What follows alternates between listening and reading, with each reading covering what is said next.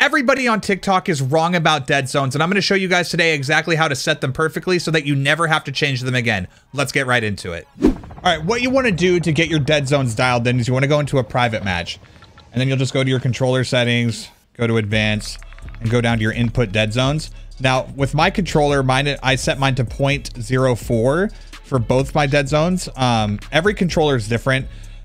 That's why whenever you see people say that just set it to zero for the best response time, it's not the case. What you want to do is you want to go to zero on both of them. And then as you can see, I have a little bit of stick drift. You basically want to go into your settings and raise your value by 0.1 each time until you don't have stick drift anymore.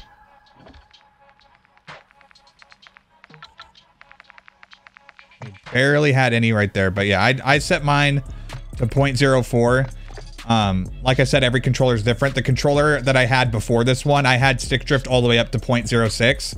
Um, so I had to set it to 0.07, but for this one, 0.04 is good. Also, before you do any of this, you should probably also um, overclock your controller. There's a really good video that Shotzzy put out. It's really easy. It's like a two minute video. So I'll put the uh, link to that in the description. But yeah, just overclock your controller, get your settings dialed in like that. Um, like I said, just set it to zero, raise it by 0.01 until you get no stick drift.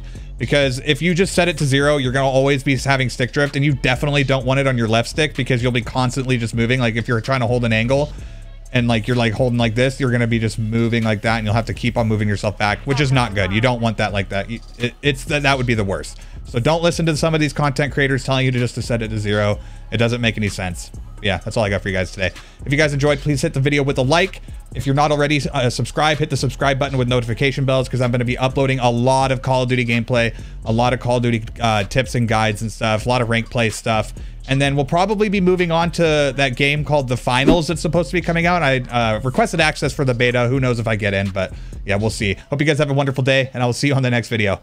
Peace.